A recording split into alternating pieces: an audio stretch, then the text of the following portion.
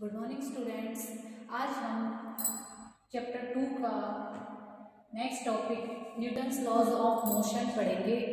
Newton's laws of motion में Newton क्या कहता है? इनका पूरा नाम था sir Isaac Newton. Sir Isaac Newton.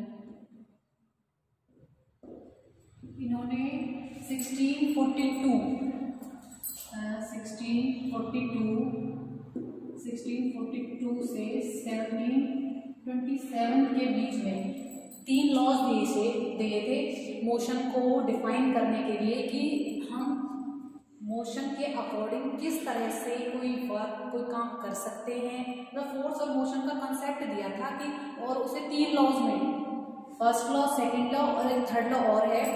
उन तीन लॉज में उसे डिवाइड कर दिया गया था। तो आपके ये तीन लॉज क्या कहते हैं?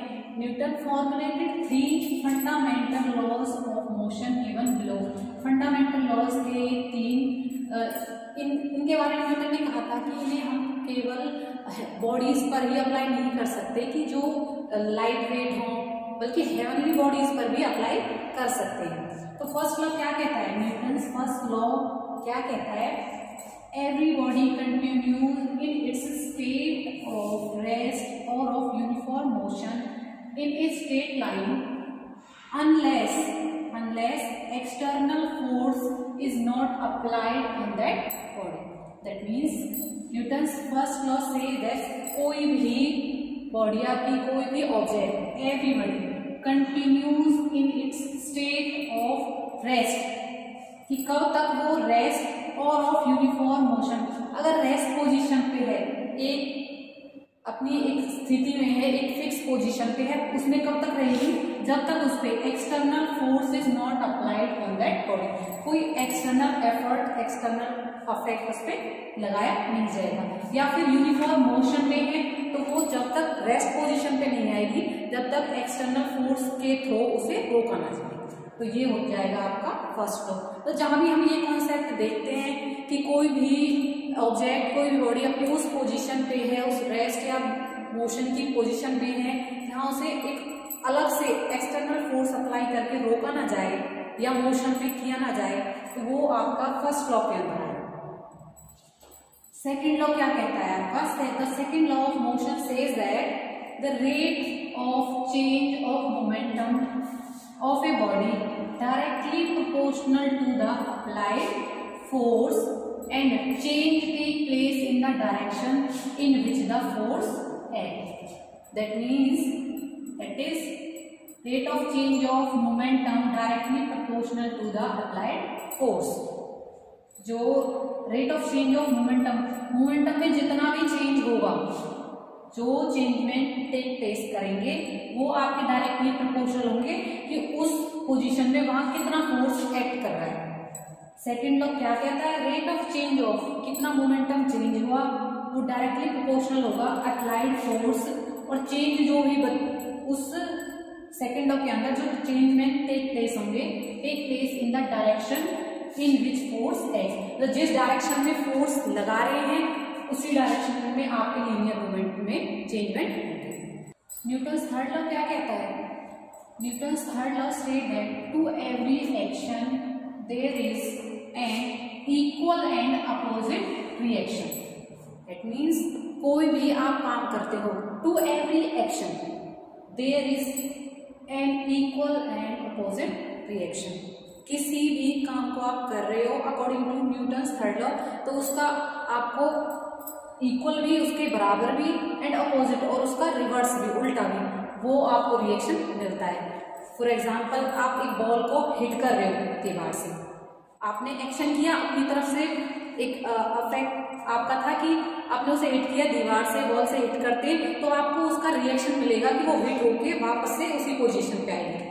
हिट किया, आपने एक्शन किया रिएक्शन क्या हुआ कि वो उल्टी आ गई। देर फोर और और क्या कह सकते हैं हम? Action and reaction action and reaction are equal and opposite तो जो आपने एक्शन किया, वो इक्वल भी हो सकता है, हो सकता है वो वहाँ गिरी वापस नहीं आई बट रिएक्शन आर इक्वल वो इक्वल हो गई एंड अपोजिट दैट मीन्स वो हिट होके वापस आ गई. तो हम दोनों तरह से कह सकते हैं to every action there is an equal and opposite reaction आपको उसका एक, उस एक्शन का आपको कुछ रिएक्शन मिलेगा भी रिवर्स होके. बारे में पढ़ा कि फ़र्स्ट लॉ में क्या कहा गया कि कोई भी बॉडी कोई भी ऑब्जेक्ट अपनी पोजीशन तब तक चेंज नहीं करता जब तक कि उस पर एक्शन फोर्स अप्लाई ना किया जाए। जैसे कोई बुक रखी है फॉर एग्ज़ाम्पल किसी टेबल पर कोई बुक रखी है तो वो अपने आप मूव नहीं कर सकती जब तक उस पर एक्शनल फोर्स ना लगाया जाए। इसी तरह सेकंड लॉ में क्या था? Second law says that rate of change of linear momentum जो था मोमेंटम वो किसके प्रोपोर्शनल था? फोर्स देंगे तो उसका हमें डेरिवेशन करके दिखाना है यहाँ rate of change of momentum rate of change of momentum proportional to force directly proportional to force इसके लिए हम कंसीडर करेंगे किसी भी ऑब्जेक्ट किसी बॉडी पे आपका मास एम मूव कर रहा है। Let a body of mass m of mass m moving with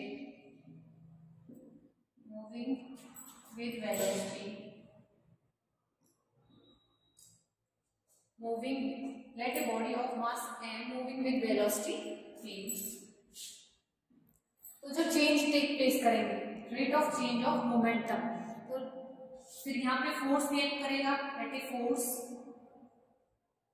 F. F we applied applied on the body. Then देखो, then जो आपका चेंजमेंट टेक प्लेस करेंगे, कहाँ से भी आपकी final velocity to initial velocity तो आपका इनिशियल मोमेंटम क्या होगा? Then initial momentum